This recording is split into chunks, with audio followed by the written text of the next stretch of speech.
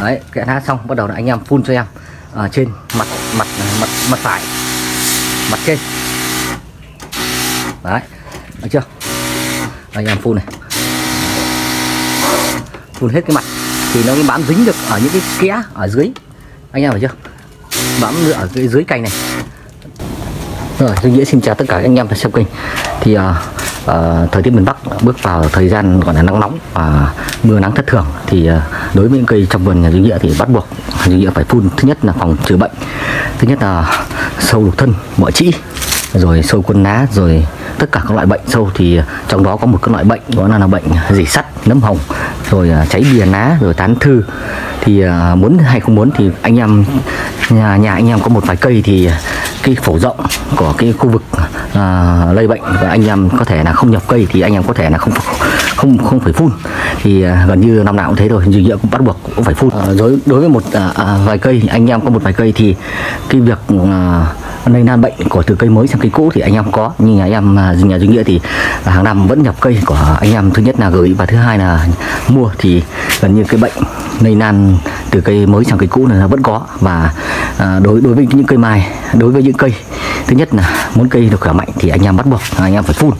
À, cây muốn khỏe thì được à, phải phòng được hết tất cả các bệnh. Mà cây bị bệnh rồi thì tất cả là nó bị suy suy theo từ từ những cái đấy nhá anh em nhé thì anh em phải phòng được bệnh. Thứ nhất là sâu đục thân rồi bọ trĩ nó cắn phá lá. Và thứ hai nữa là cái bệnh quan trọng nhất là cái bệnh nấm hồng gì sắt. Cái nấm bệnh nấm hồng là cái bệnh gọi là đặc trưng cho, cho cái, cái trên cây mai. Nó sẽ ăn dần dần từ từ. Nó chết bỏ chết chi. À, rồi à, quan trọng nhất là cái lúc thời gian mà chúng ta chưa thấy xong là nó sẽ tấn công trong năm này. Và nó sẽ bị à, hút nhựa ở trên những cành cây và đến khi chúng ta cây chúng ta bắt đầu làm hoa thì nó nó nó dựa theo cái vấn đề là cây của chúng ta yếu kiệt thì bắt đầu lúc đó là cây sẽ bị bỏ, bỏ chi. Nguyên nhân đây thì em sẽ lấy ví dụ như cây này. Nó bị bỏ hai chi này anh em này. Từ đầu nó, nó ăn dần dần. Nó ăn dần dần từ những cái cái cành nhỏ dần dần à, đây chắc chắn bị nấm này anh em nhé. Chắc chắn là bị nấm này. Đấy thì những cây này là cây mà họ mới gửi này anh em này. Thì à, họ để bao nhiêu năm rồi họ không xả tàn xong là vấn đề là cây uh, nó bị bệnh xong đây anh em xem cây nó rất yếu hơn với những cây khác. Xong nó bị bỏ chi này. Xa tết là nhựa nó kém xong là khi đó là cây nó kiệt rồi.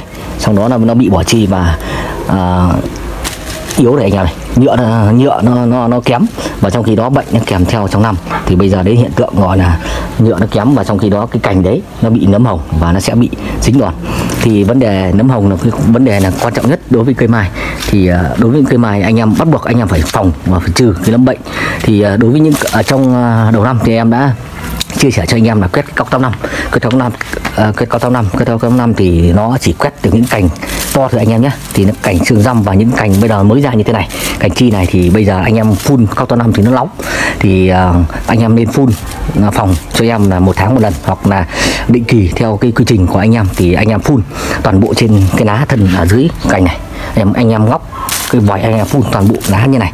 Thì anh anh à, đầu năm anh em đã quét toàn bộ ở trên thân những cành to. Anh em quét được cái cao tám năm này rồi thì nó sẽ không bị ở những cái cành cây to này.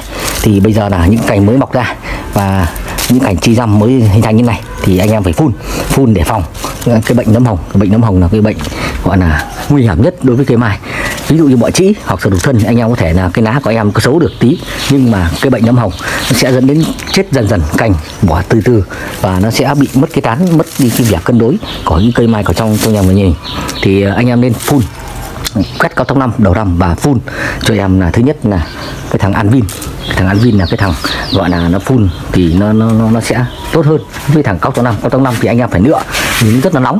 Anh em phải nựa nếu anh em có cao tốc năm anh em phun được nhưng anh em phải lựa. Đối với những cây mai mà đóng lá toàn bộ là lá nó già rồi anh em phun về mới được. Chứ cái thằng cao tốc năm cũng trừ nấm bệnh rất tốt tốt đấy nhưng mà nó nóng mà. Thì bây giờ em mua cái Anvin này. Anvin này nó sẽ trừ được cái bệnh nấm hồng này. Rồi uh, uh, đốm dỉ sắt rồi tán thư rồi uh, bệnh uh, cháy bìa lá đấy anh em có thể đây. Đấy, em uh, anh em có thể mua cái gói Anvin này. Đấy thì vào một cái gói Anvin này em sẽ pha cho 16 lít nước anh em phun và chiều mát cho em. Thì định kỳ anh em có thể là nhà anh em có điều kiện nhiều cây thì anh em phun cho em là nửa tháng một lần hoặc một tháng một lần để phòng cái bệnh. Mỗi khi một cây đọt này ra mỗi, mỗi khi một cây đọt ra mới thì nó sẽ đi thèm kèm theo là chúng ta phải xử phòng bệnh gồm uh, bọ trĩ sâu đục thân uh, sâu cuốn lá rồi có bệnh nấm đấy thì anh em nên chú ý cho em. Muốn gì thì muốn. Nhà anh em có một vài cây thì anh em có thể là quan sát chăm kỹ hơn. Nhưng nhà em nhiều thì anh em nhà em bắt buộc nhà em phải phun. Thì à, để làm video chính cho anh em để thực hành. Thì em đã đọc cái bình này là 16 lít nước. Đây một cái đây cái đây một cái cái bình này là 18 lít nước. Nhưng mà em lấy chuẩn là 16 lít nước này rồi ở đây nó có ghi là 16 lít nước này. À, không biết là ở chỗ đoạn nào bên bên nào. Là một đây 16 lít nước này. Đấy. 16 lít nước thì à, anh em pha cho em một gói này. Em cắt sẵn để thực hành cho anh em nó dễ này. Đấy. Rồi, anh em phun.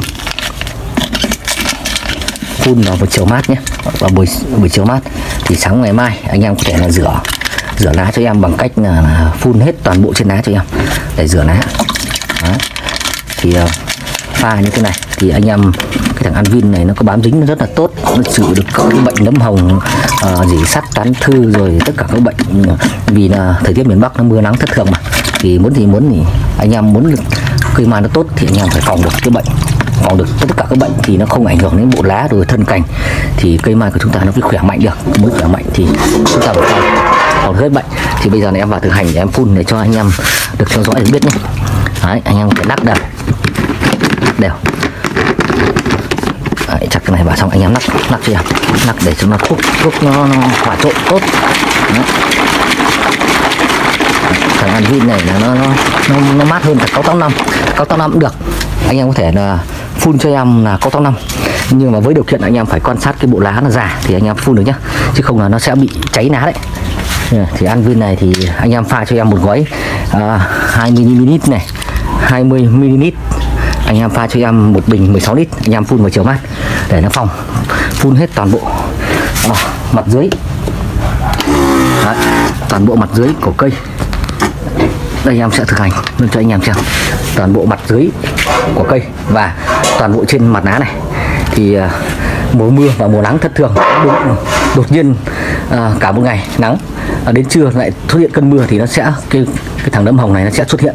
Và những cái bệnh là cháy ná rồi gì sắt tán thư nó sẽ ảnh hưởng đến việc uh, sự phát triển cây mai muốn gì muốn anh em cũng phải phun phòng đây em thực hành cho anh em xem nhé Đấy. Đấy, anh em anh em phun hết dưới trước này này Đấy. trên tất cả các kẽ lá Đấy. Đấy, kẽ lá xong bắt đầu là anh em phun cho em ở trên mặt mặt mặt mặt phải mặt kê đấy được chưa? Anh em phun này. Phun hết cái mặt. Thì nó mới bám dính được ở những cái kẽ ở dưới. Anh em hiểu chưa? Bám ở cái dưới cành này. Để nó phòng được cái bệnh. Cho chúng ta không thì nó sẽ bị ảnh hưởng đến cây của chúng ta. Rồi, tới đây thì duy nghĩa cũng làm video để chia sẻ, mô phỏng cho anh em, gọi là phun cái phòng nấm bệnh à, thứ nhất là nấm hồng. À, rồi tất cả các loại nấm à, trên cây mai. Thì à, định kỳ thì anh em có điều kiện anh em phun cho em nửa tháng một lần. Hoặc là anh em à, phun cho em tháng một lần. Anh em có thuốc Anvin này thì nó tốt. Còn không thì anh em uh, mua cái cốc táo năm cũng được. Nhưng mà nó nóng anh em phải quan sát cây lá của mình toàn bộ nó già thì anh em phun. Chứ không là nó bị cháy thằng cốc táo năm nóng à. Rồi thì clip ngày hôm nay này anh em uh, duy nghĩa chia sẻ cho anh em tới để cái cách phòng bệnh nấm bệnh rồi uh, bệnh dỉ sắt bệnh tán thư cháy bìa lá đối với cây mai ở miền Bắc. Thì à, đến à, mùa hè đến rồi, những cơn mưa bất chợt và à, nóng nắng, mưa thất thường, nên nó sẽ xuất hiện rất nhiều bệnh trên trên cây mai của ở ở anh em miền Bắc. Nói chung cũng như nhà duy nghĩa nói riêng. Thì đến đây thì anh em có thể tham khảo cái video của em nào. Thì cảm ơn tất cả anh em đã xem video. Thì hẹn anh em vào video tiếp theo.